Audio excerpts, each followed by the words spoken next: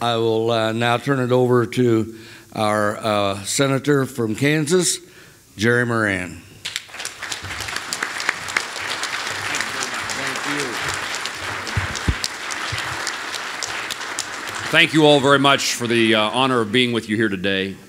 Um, first of all, let me start out by saying that I'm not a veteran. Uh, I would add to that fact that I graduated from high school in 1972, which may suggest to you the time frame in which I grew up. Uh, I was part of a class that got a, a, lottery number, uh, and by the time it was for anybody in, in my graduating class to be called to service in Vietnam, uh, the war was Vietnamized, and uh, none of my high school classmates uh, were at least drafted into Vietnam, or Uh, uh, although a few became uh, veterans, became members of the military, and ultimately veterans. I thought we learned a couple things. I should let me let me explain explain that just a little bit more. Um, so I grew up watching Vietnam on the nightly news almost every night of my high school years, and I, what I took from that was a couple of things. One, I would say that our country should never engage in war until we have the full support of the American people and until we have leaders who have decided we're going to pursue a strategy that results in success and we're never going to walk away until we achieve that success. More importantly, perhaps to you, what I took away from that experience of growing up with Vietnam in the background of my life was that we have a responsibility as American citizens to make sure that we honor those who served. And we do that certainly by words and deeds, but we also do that by making certain that those who served our country receive the benefits, including health care, that they're in, entitled to, that they earned. Uh, I've been a member of the Senate only, I'm in my first term. I've only been a, a senator for four years. I served in the House of Representatives prior to that. I've been a member of the Veterans Committee since I went to Congress, since Kansan sent me there. Uh, I have uh, have tried to take this these issues of Vietnam veterans, but uh, veterans generally, uh, to heart and to pursue policies that result in better care and treatment for those who served our country. My dad was a World War II veteran, and that adds the perspective of growing up in a household with a father who served our country and who took great uh, care and concern for the nation that he wanted to leave behind. I think it's our responsibility as American citizens to make sure that we do the things in our lives that uh, leave our country to the next generation with the freedoms and liberties guaranteed by our Constitution and the ability for every American to pursue the American dream. I recognize that my family and I have the ability to do the things that we do today in pursuit of the American dream and with the liberties and freedoms that we enjoy as Americans as a result of the sacrifice and service of you and many others who served our country. I want to do the things as a public official, as a member now of the United States Senate, but most importantly as a citizen of this country that honors and esteems the service that you have provided in your service to Vietnam, to your service in Vietnam.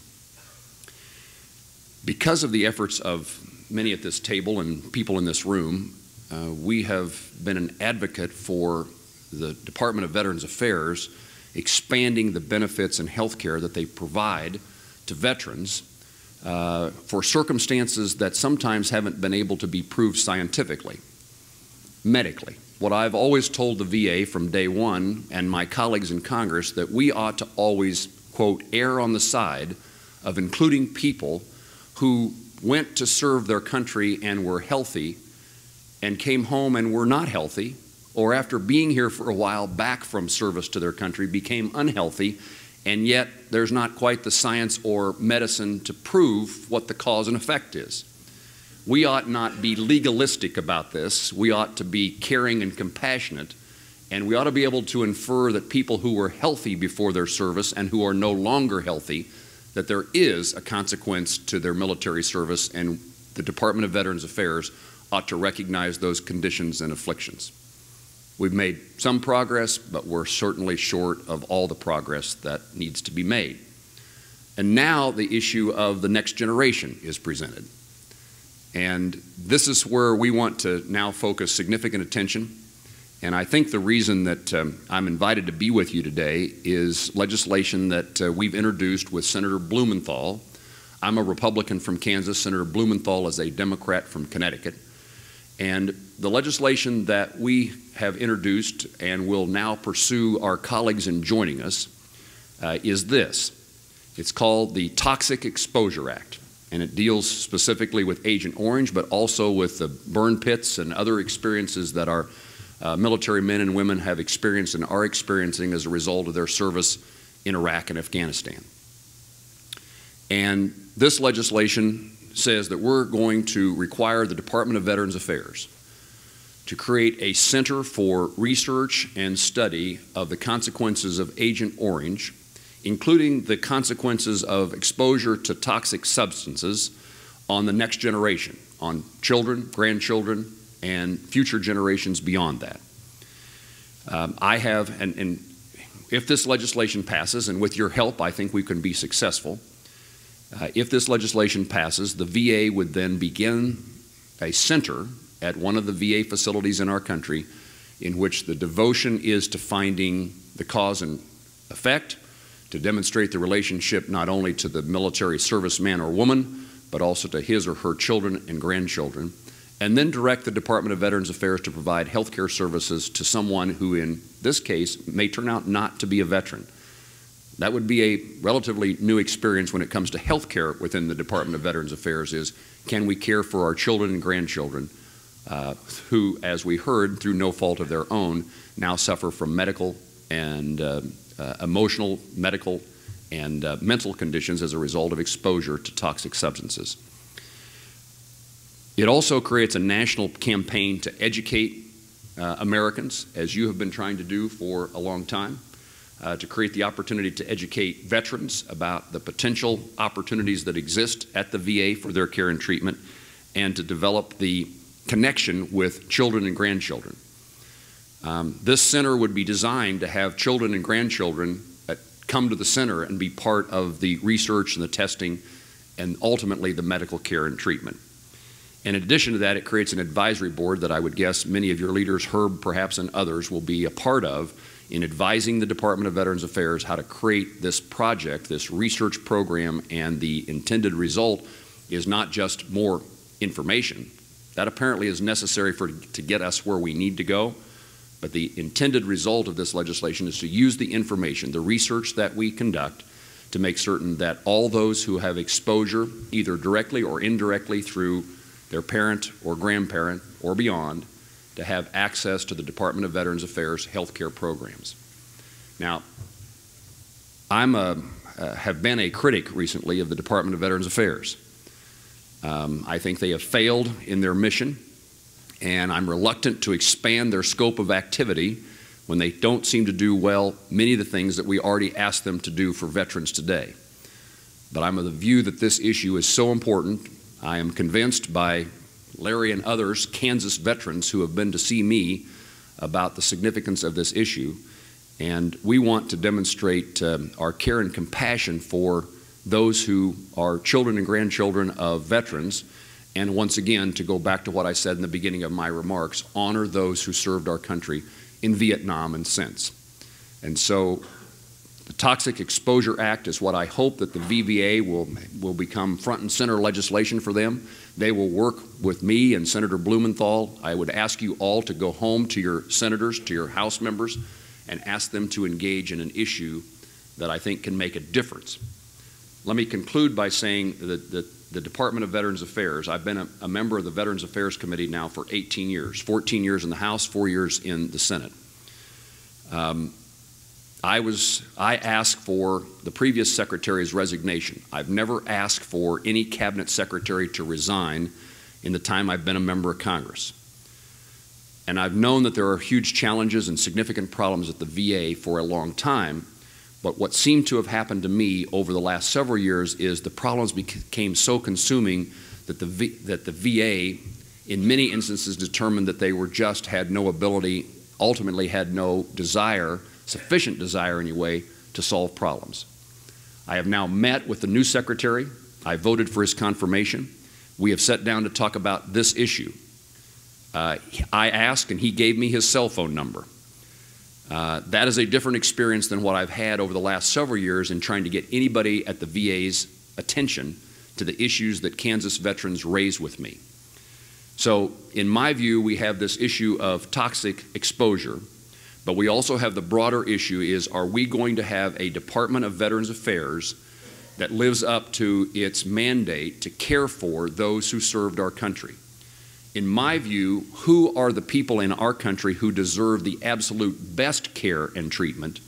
If it's not our military men and women and our veterans, I don't know who it would be and yet we have had developed an attitude over time in many instances the VA of a shrug of shoulders, there's nothing we can do, and we're going to prove that that culture can be overcome and that veterans once again will have the, the uh, priority that they deserve in our nation.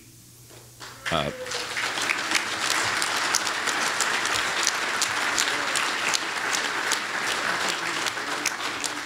we have had some success in the passage of the most recent piece of legislation in which we are telling veterans, we're telling, actually, we're telling the Department of Veterans Affairs, if you're not going to provide the services that are necessary within a, the amount of time that's medically required, or if you're a veteran who lives a long distance from a VA facility, that you're going to have the card to allow you the opportunities to find health care services at home or a place of your choice.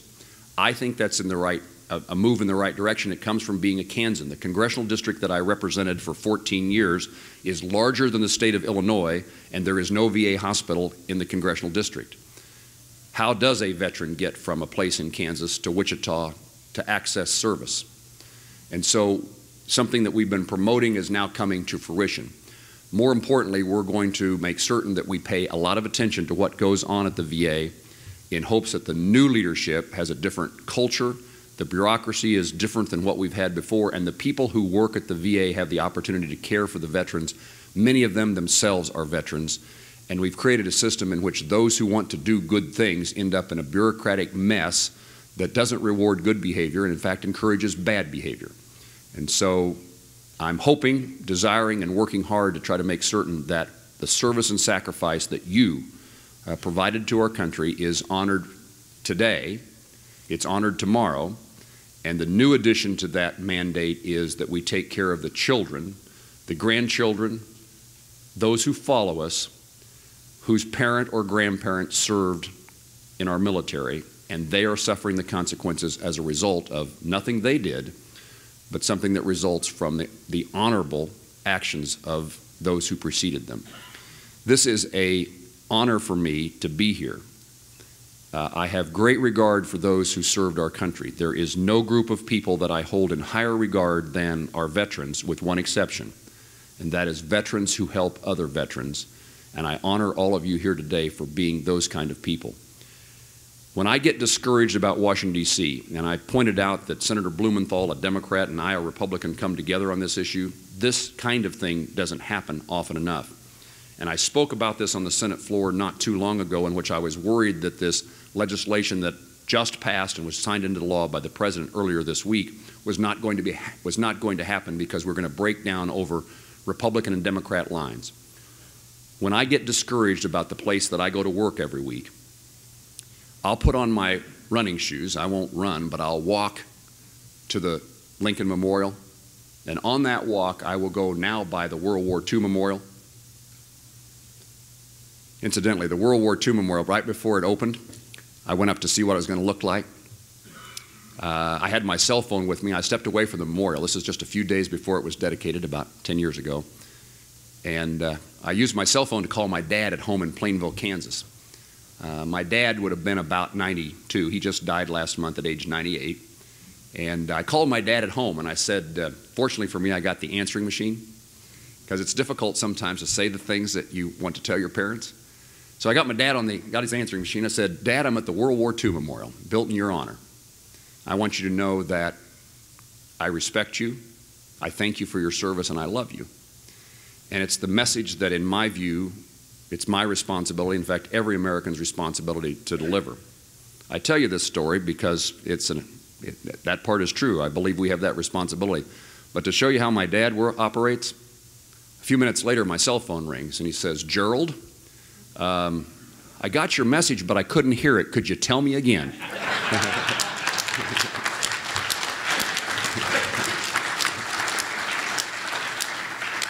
But on that walk, I'll go by the World War II Memorial. I next go by the Vietnam Wall. And on my way back, I come by the Korean War Memorial. And in each of those three settings, I am reminded of this fact. No one memorialized in those three settings, World War II, Vietnam, or Korean War, did they volunteer? Were they drafted for purposes of taking care of Republicans or taking care of Democrats? They served their country because they believed it was useful to the future for their family members, and they believed that America was a special place that was deserving of that service to try to preserve the freedoms and liberties that we enjoy as American citizens. Not one of them said, I'm going to fight for Republicans or I'm going to fight for Democrats. And it reminds me, and I've told my colleagues this time and time again, that we need to role model after those people who are honored in those three settings as compared to the silliness of Washington, D.C., in which it's Republicans versus Democrats and Democrats versus Republicans. There is a much higher calling to what we do, as evidenced by you as servicemen and women and now veterans. And you are the role models that members of Congress should follow. I hope we learn from you, and I hope our approach to governing in Washington, D.C. is something different than it is today. Thank you very much for your service to our country.